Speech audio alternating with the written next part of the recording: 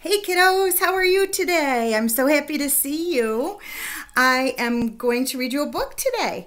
This one, and I thought you might like it because it's called The Bad Seed. And it looks a lot like the seeds that you guys just planted yesterday, right? This is a good one. It's called The Bad Seed, written by Jory John. That's the author who writes the story, and illustrated by Pete Oswald. And the illustrator makes the pictures, right?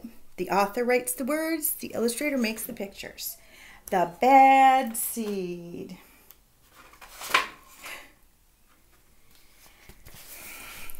I'm a bad seed. A bad seed. Ooh, he looks bad. Oh, yeah, it's true. The other seeds look at me and they say, that seed is so bad. And when they think I'm not listening, they mumble, There goes a bad seed. Look at him. Ooh, he's got angry eyes.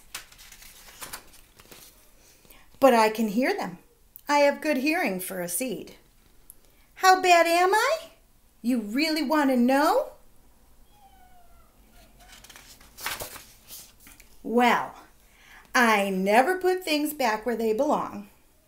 I'm late to everything. I tell long jokes with no punchlines. I never wash my hands or my feet. I lie about pointless stuff and I cut in line every time. I stare at everybody. I glare at everybody. I finish everybody's sentences and I never listen. And I do lots of other bad things too. Know why? Because I'm a bad seed. A bad seed. I just can't help it. Sure, I wasn't always this bad. I was born a humble seed on a simple sunflower in an unremarkable field. I had a big family, seeds everywhere. We found ways of having fun. We were close. Look at them all up there, having a great time in their sunflower.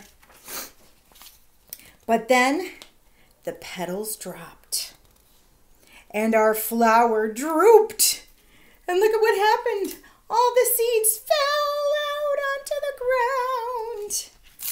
They're all going, ah! It's kind of a blur. like, look at them running away. I remember a bag. And this says fresh sunflower seeds, delicious. So he got raked up and put in a sunflower seed bag for someone to eat. Everything went dark. And then, then, what's going to happen? A giant! He's eating him at a baseball game. I thought I was a goner. I thought I was done for. I screamed and I hollered, ah! And then, but I was spit out at the last possible second. I flew through the air and I landed under the bleachers with a huge thud. Look at boom. When I woke up, it was dark outside. A wad of gum had softened my fall. I felt okay, but something had changed in me. I'd become a different seed entirely. I had become a bad seed. Look at his eyes. Ooh, he's mad. I love that he's in the gum with all this yucky hair and stuff, and it's so gross. a bad seed. That's right, I stopped smiling. I kept to myself. I drifted. I was friend to nobody and bad to everybody. I was lost on purpose. I lived inside a soda can. I didn't care. and it suited me. Until recently, look at look at his face. He looked in the mirror and look at he's got a little smile. I've made a big decision. I've decided I don't want to be a bad seed anymore. I'm ready to be happy. It's hard to be good when you're so used to being bad, but I'm trying. I'm taking it one day at a time. Sure, I still forget to listen, and I still show up late, and I still talk during movies, and I do all kinds of other bad stuff. But I also say thank you, and I say please, and I smile, and I hold doors open for people. Not always, but sometimes. And even though I still feel bad, sometimes I also feel kind of good. It's sort of a mix.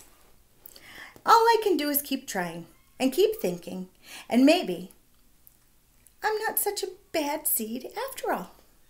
Look at smile, and he's got happy eyes.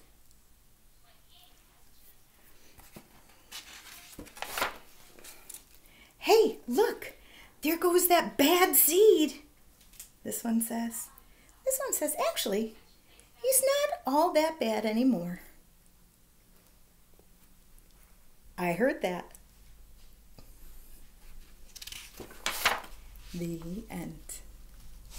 Did you like that one? Isn't that a great story? I have another one too that I'm going to read to you, and it's called um, The Good Egg.